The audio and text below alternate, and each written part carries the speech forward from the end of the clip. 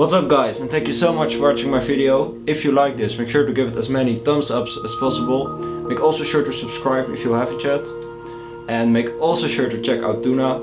is amazing and I made this beat with him. And yeah, then I will see you next Sunday. Bye.